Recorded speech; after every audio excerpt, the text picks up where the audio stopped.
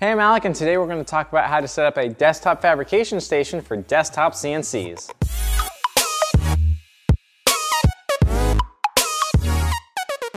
Where entry level used to cost tens or hundreds of thousands of dollars is now an affordable addition to the workshop for individuals and businesses alike, desktop CNCs. Here at MatterHackers, we've worked with many different CNCs, and it's safe to say we've learned the do's and don'ts of these setups and conditions. Whether you're looking for just the right layout for your tools or looking to explore the different options for streamlining your workflow, I've compiled this list of different tips to give you the best chance of success for your new desktop CNC. Let's get started. Every form of digital manufacturing has its conditions that can make or break a successful operation. In the case of desktop CNCs, it's going to be the mess and the noise.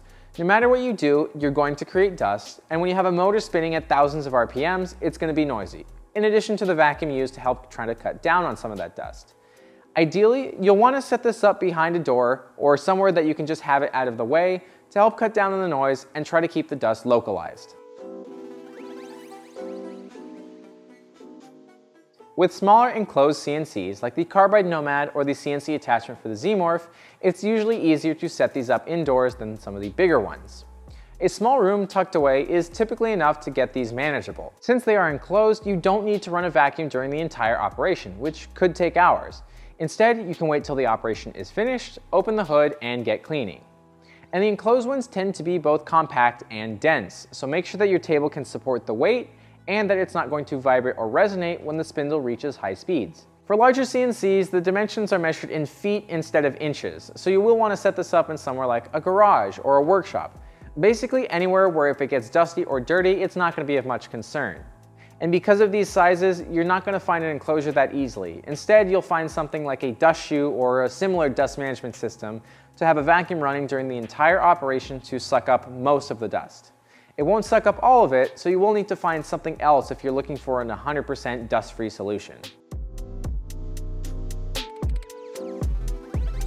Depending on the size of your CNC, you will have different solutions for how you need to manage your materials. In either case, you'll want to try and make things set up so that you don't need to move materials around to get to the piece you need, kind of like books on a bookshelf. For smaller CNCs, you would do just fine with a cabinet or shelf just off to the side with all of your plastics, soft metals, and woods properly labeled and organized, of course. But for something of this size, you'll need some very different considerations. When your work area is 3 feet wide and 3 feet long, it becomes a lot harder to manage those materials. So having something like a table saw where you can rip down plywood is going to make it a lot easier to use something like this. In our case, with our large machine and our limited space, I will break out our table saw and help rip down some plywood so that we have much more manageable pieces than a huge 4 foot by 8 foot sheet of plywood. A first priority is to have all your PPE in an easy to access and ready to use location, and to always put it back in the same place when you're done using it. Having a dust mask or respirator rated for dust particulate, not vapor, protective eyewear, and hearing protection is all essential when you're working with large CNCs. For the smaller enclosed ones, since they are enclosed, you can get away with not wearing a dust mask or respirator, but the protective eyewear and hearing protection is non-negotiable. When it comes to software, at least in the beginning, use what comes prepackaged with your CNC from the manufacturer. For those with 3D modeling experience, you may find that you start to outpace what the software is capable of with what you want to do with it. In that case, there are free and paid for softwares out there that will allow you to use the advanced capabilities of your machine, like 3D milling or even easy tool changing. And speaking of tools, take note that you will amass a large number of end mills the more you use your CNC. A coworker milled out this really nice holder for all of our end mills, wrenches, and collets, which not only is it really helpful to keep things organized, it also has room for us to grow. If you'd like to learn more about end mills, be sure to check out our end mill comparison guide right here. When it comes to clamping, everyone does it differently. Some use metal threaded inserts so that you can thread right into it through the board. Others use a T-track and clamp setup. Others just have used wood screws directly into the wasteboard. Everything is a bit different, so you may consider upgrading yours if you find that you aren't satisfied with what you have. I've seen something used by other makers in the community that I actually am quite fond of, and that's putting painter's tape down on the wasteboard, along the backside of your work surface, and then super gluing the tape together. That way, it is a permanent bond between the tape, but a really easy release thanks to the adhesive used on painter's tape. Keeping a CNC clean is going to be an everlasting battle as you find dust gathering in places you didn't even know possible. Start out by using a vacuum to clean up all the dust after you're done with an operation, then use a brush to help get all the dust off of these surfaces it's stuck to, and then vacuum that up.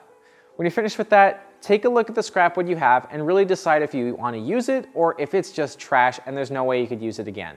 You don't want to have to set this in a box and forget about it for six months until you even think about it again. Keep it lean.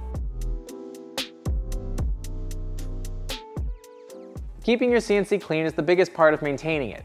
If you have too much dust built up in the fan that keeps the controller board cool or in the moving parts of the CNC itself, you can get skipped steps, which means that the path gets offset in the middle of your print job, which can ruin your workpiece and in worst case scenarios, also break your bit. And if your machine uses roller wheels, you wanna make sure these aren't over tension, because if they are, then they'll create flats over time and you'll need to replace them prematurely. If you're mainly carving all the way through your material and marring the surface of the wasteboard, then you will need to replace the wasteboard more often than if you're just going partway through your workpiece. Because the more that you mar this top surface, the less flat it becomes and the less reliable. When compared to 3D printers, CNCs have a lot less that can go wrong with them. The biggest thing is going to be keeping sure that your feeds and speeds are set properly. Feeds mean how fast the machine is actually moving around on the piece, and your speed is how fast the spindle is spinning. There are too many materials to list exactly which feed and speed to use for each and every one. The general rule to follow is that you want your spindle speed set fast enough that it can easily remove chips, but slow enough that it's not heating up your material, causing it to burn or melt. You also want your feed rate set so that it's moving fast enough to not just rub the material in the same place it's already cut, but slow enough that it's not starting to deflect the end mill. In either case, if you have any trouble, you can always call or email us and get help from a MatterHackers Pro to help you get through your problem. Desktop CNCs have a lot to offer for many workshops, whether it's creating weekend builds, prototypes, or end-use products. Making sure that the environment of the CNC is well thought out and that your workflow is ready and prepared can make what would otherwise be a daunting task much simpler and easy to process. I hope that this has gotten your mind at ease and that you're ready to start milling. If you have anything you'd like me to know or other CNC users, be sure to leave that in the comments down below. Have fun milling. I'm Alec from MatterHackers. Thanks for watching. Hey there, thanks for watching. I hope you enjoyed that video on how to set up a fabrication station for desktop CNCs, and I hope that this gave you some ideas on how to properly manage your CNC station. If you want to read some in-depth articles, be sure to read some articles from matterhackers.com, or to stay up to date with all of our digital manufacturing content, be sure to subscribe. See you on the next one.